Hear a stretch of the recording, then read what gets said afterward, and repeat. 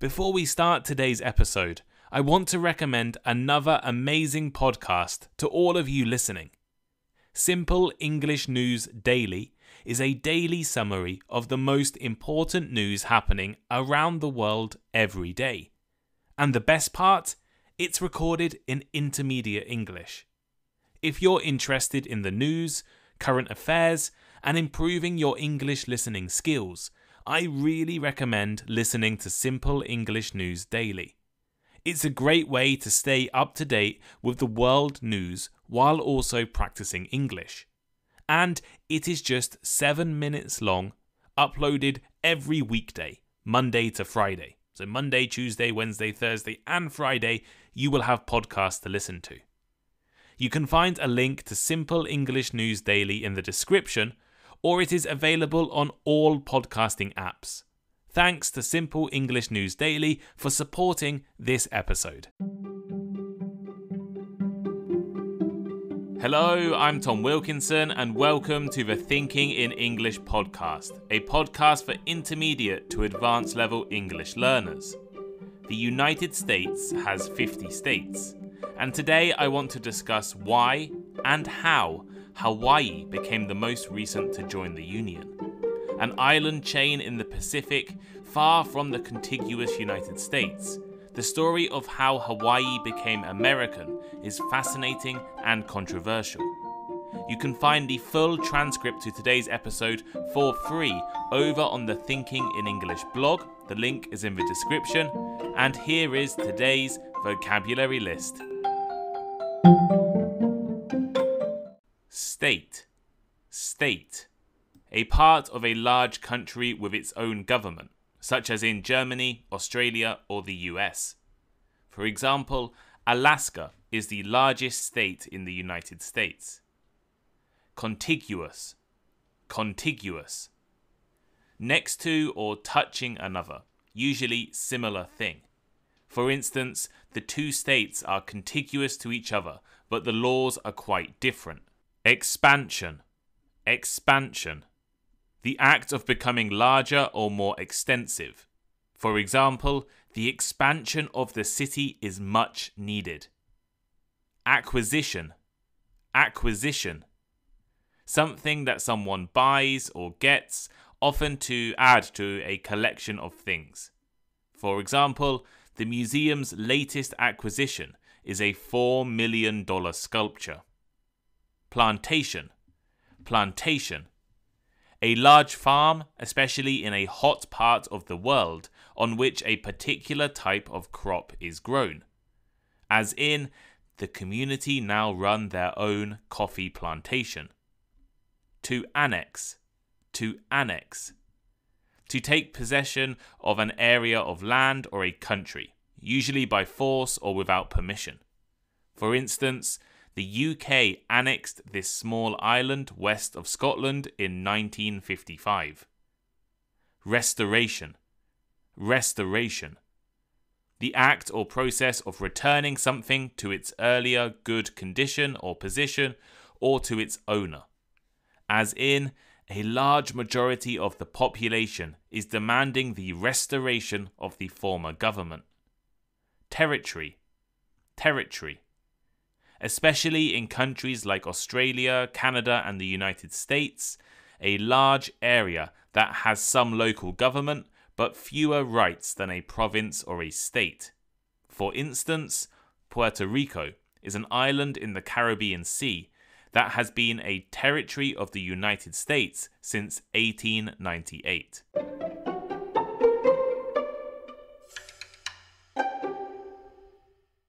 When you imagine the United States of America, what do you see? What is the iconic image in your mind?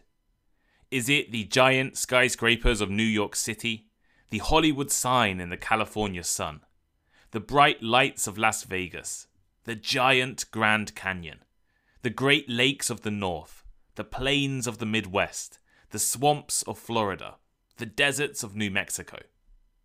From the east coast to the west coast of the United States, there are 48 states with unique landscapes, communities, histories, and cultures. Now, you might be thinking, 48 states? There are 50 states. What is Tom talking about? And you'd be right. Of course, there are 50 states that make up the United States.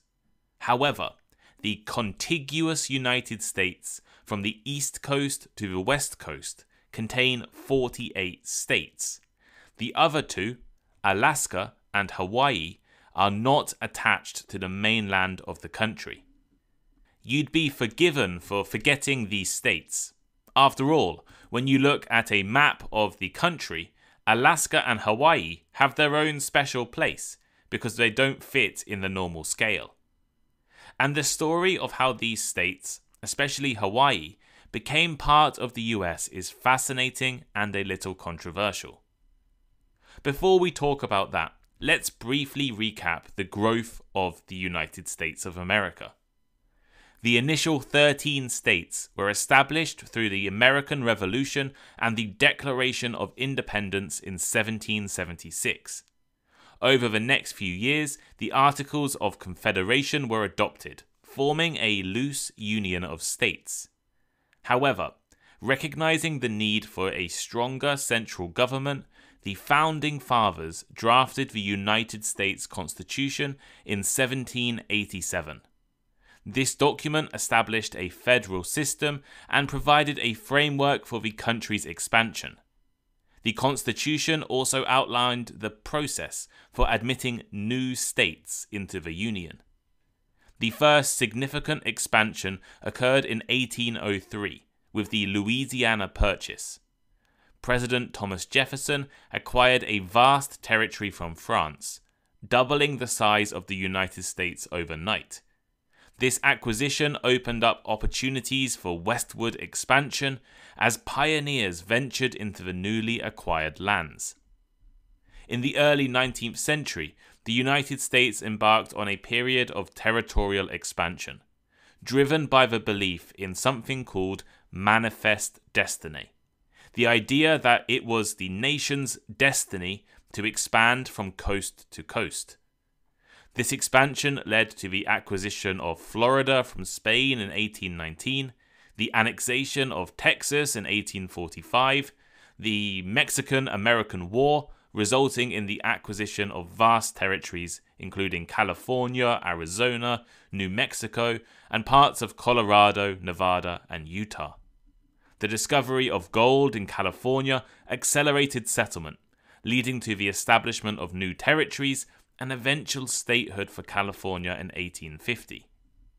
During the mid 19th century, the United States also expanded its territory through diplomacy and purchase. The Oregon Treaty of 1846 resolved a long standing dispute with Britain, securing the Pacific Northwest for the United States. And the Gadsden Purchase of 1853 added a strip of land in present day Arizona and New Mexico, further solidifying the country's southern borders.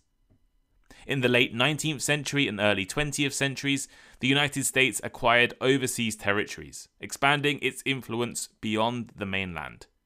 The Spanish American War of 1898 resulted in the acquisition of Puerto Rico, Guam, and the Philippines. Additionally, the United States purchased Alaska from Russia in 1867, adding vast territories to the northwest. But how about Hawaii? Hawaii became an official state on August 21, 1959, the 50th and most recent state to be admitted to the Union. Alaska had actually become a state eight months earlier, and before that, the most recent states were admitted in 1912. But Hawaii is not the most obvious candidate to be a state. Like Alaska, it's not part of the contiguous United States. In fact, it's not really even in the American continent. Hawaii is a chain of volcanic islands in the Pacific Ocean. It is 2,000 miles, or about 3,200 kilometers, from the coast of the contiguous US. While politically North American, Hawaii is part of the Oceania region. It is geographically far from most other major population centers. In fact, at the time of the foundation of the United States, Hawaii had never been visited by any European explorers, let alone any American. It was an independent kingdom with a royal family and unique culture. So, how did these islands in the middle of the Pacific Ocean become part of the United States? For centuries, the Hawaiian Islands were home to a vibrant Polynesian culture. If you listen to my episode on who discovered the Americas, you will know a little about the Polynesian explorers. The islands were ruled by a line of powerful monarchs who governed over the society. Native Hawaiians developed a unique language, customs, and traditions. In the late 18th century, European explorers, most famously Captain James Cook, who was later killed by Hawaiians, made contact with the Hawaiian Islands. This was the beginning of increased foreign influence in the islands. Western traders, missionaries, and whalers arrived, introducing new technologies, beliefs, and diseases to the islands.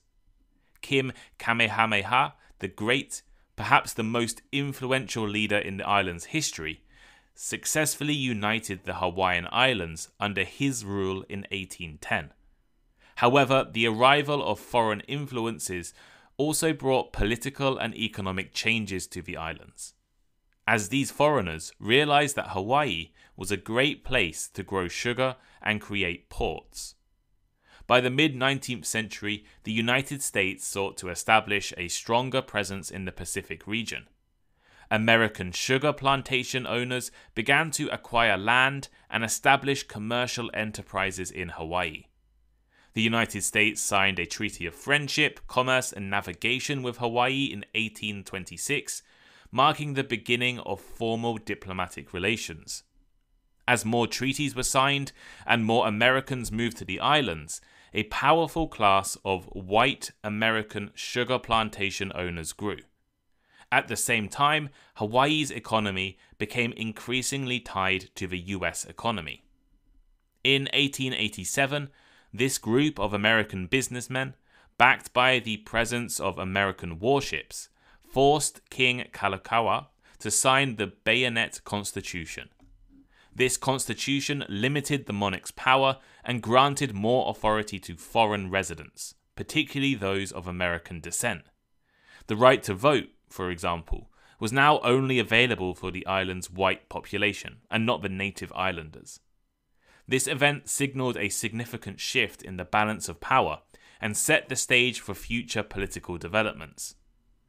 In 1891, Queen Liliuokalani ascended to the throne after the death of her brother, King Kalakaua. She sought to restore power to the monarchy and the native Hawaiians, challenging the influence of foreign interests. However, her attempts to create a new constitution faced opposition from the sugar plantation owners, who feared the loss of their privileged status. In 1893, a group of American planters and businessmen, supported by elements of the United States military, staged a coup d'etat against Queen Liliuokalani.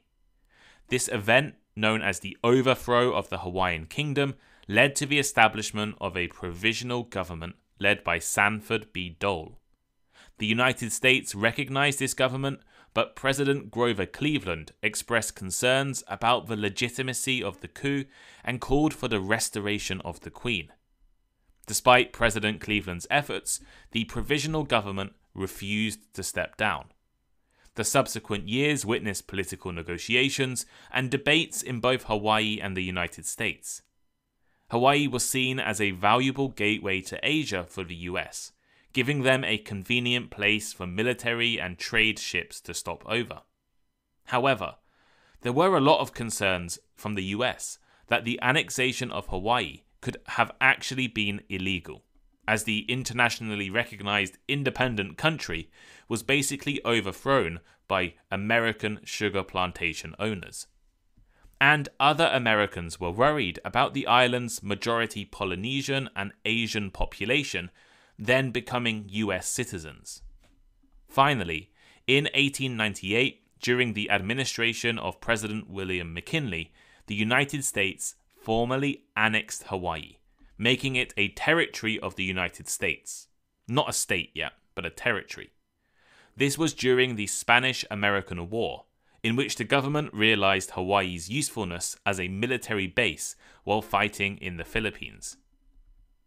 Following annexation, Hawaii became a US territory, subject to American governance. Almost immediately, the new leaders of Hawaii were suggesting that the islands could apply to become a state. In the early 20th century, Hawaii experienced significant demographic changes. Immigrants from various countries, such as Japan, the Philippines, China, and Portugal, arrived to work in Hawaii's plantations and labor industries. These immigrant communities brought their cultures and traditions, changing the island. The economic growth of Hawaii was prim- primarily driven by sugarcane and the pineapple industries. Plantations owned by American corporations dominated the economy, employing a large portion of the population. However, labour disputes and working conditions led to social tensions, with workers advocating for fair treatment and improved rights. In 1919, the first bill for Hawaiian statehood was introduced to the US Congress, but it quickly failed. Hawaiian residents, despite technically being Americans, were not able to vote for president or their governor and lacked funding from the American government. World War II played a pivotal role in Hawaii's journey to statehood. The attack on Pearl Harbor in 1941 put Hawaii at the forefront of the war, bringing the United States directly into the conflict. The war effort transformed the islands into a strategic military hub, leading to increased federal investment in infrastructure, military, and economics. The experiences of the war fostered a sense of unity and patriotism among the people of Hawaii, strengthening their ties to the United States. After the war, the veterans who had served in the Pacific returned to Hawaii, becoming advocates for statehood and contributing to the island's political landscape. By the 1940s, most Hawaiians actively wanted to be a state, and five bills were introduced to Congress asking for statehood in the years after World War II. In 1959, Hawaii finally achieved a significant milestone by becoming the 50th state of the United States. The overwhelming majority of Hawaii's residents voted in favor of statehood, demonstrating a desire for full integration into the United States. So, that is Hawaii's story of becoming a state its journey from an illegal coup by plantation owners to becoming a US territory to eventual statehood. But what about Hawaii today? Its economy has completely changed. The last fruit companies and growers moved to cheaper countries and regions, and now tourism has largely become the major industry. However, tourism has long been a double edged sword for Hawaii. On the one hand, it fuels the economy, providing jobs and revenue. The picturesque landscapes, beautiful beaches, and warm climate attract millions of visitors each year. On the other hand, the rapid growth of tourism has raised concerns about its impact on the environment, local communities, and Hawaiian culture.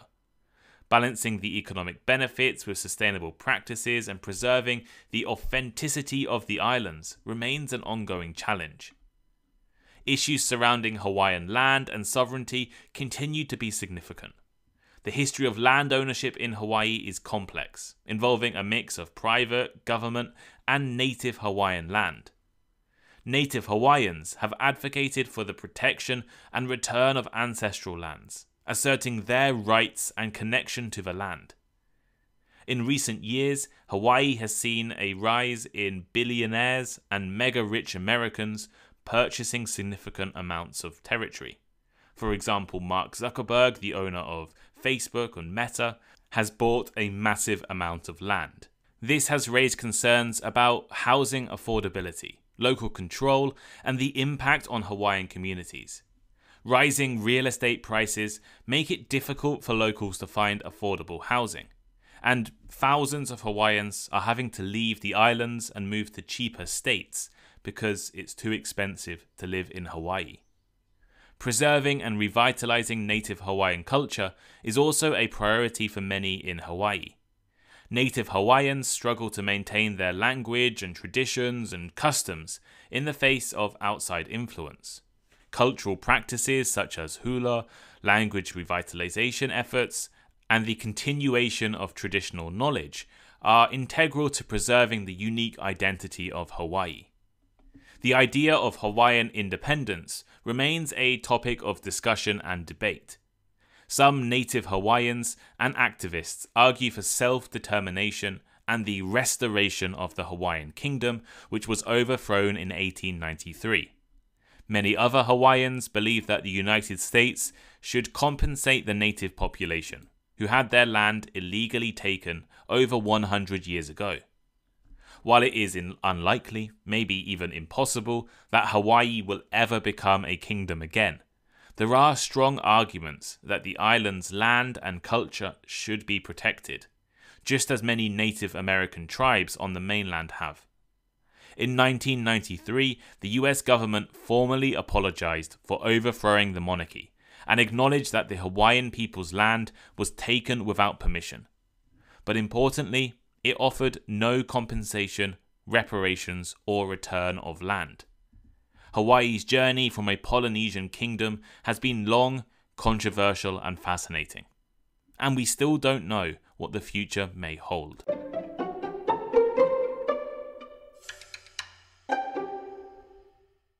So here is today's final thought.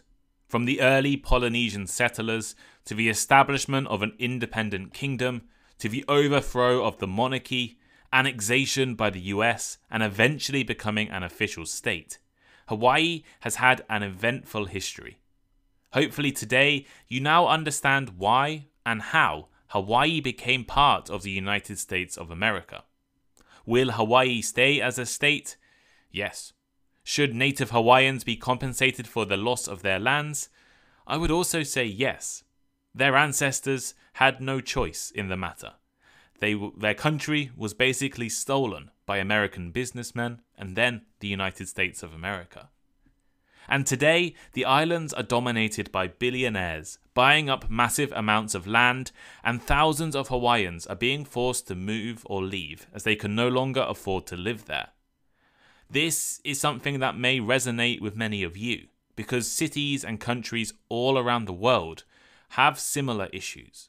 Even myself, I can't, and most of my friends cannot afford to live in the town I grew up in, as house prices are far too expensive for anyone in the beginning of their careers. But what do you think? What did you think about this topic? Have you ever visited Hawaii? Have you ever thought about why Hawaii is part of the USA? Uh, quite often, while living in Japan, I would ask people, uh, Have you visited America or have you visited the USA? And people would say no, but I've been to Hawaii, or no, but I've been to Guam, right? But both Guam and the and Hawaii are parts of the United States. Hawaii is a, legally a state, while Guam is an overseas territory. But many people forget these are both parts of the United States. So, uh, have you ever thought about these issues before? And would you like me to do episodes on, I guess, other states, other parts of the USA. Um, Alaska is an obvious candidate. It was bought um, from Russia, but also places like uh, Texas, right, and the Louisiana Purchase and California, uh, which used to be part of Mexico. These are really interesting topics as well. And there's also an interesting discussion about should America have more states, right? Should there be a 51st state? uh, because there are places like Guam, like Puerto Rico, like the US Virgin Islands, like American Samoa, which are parts of the USA, territories of the USA, but don't have any legal rights as states because they're not states. But what do you think? Uh, let me know and, and leave a comment. You can leave comments on Spotify, leave comments on the Thinking in English blog, uh, reach out to me on Instagram, of course. Um, and if you want to support the podcast, I'd really appreciate it. And you'd also be helping yourself, right? We have conversation clubs six times a week. You can join by clicking the link in the description for Patreon. And there's currently a seven day free trial as well. Uh, and yeah, thank you all for listening. I hope you have a great day, and I'll see you all next time. Goodbye.